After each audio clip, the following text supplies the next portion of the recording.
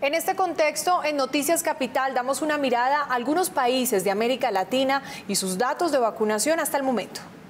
Otros países de la región ya iniciaron su proceso de vacunación y algunos muestran datos muy esperanzadores. Brasil inició su vacunación contra el COVID-19 el 16 de enero de este año y hoy ya supera los 4.070.000 vacunados, alcanzando un índice de 1,94 por cada 100 personas. Chile superó el millón trescientos mil vacunados luego de que el pasado 24 de diciembre iniciara la vacunación.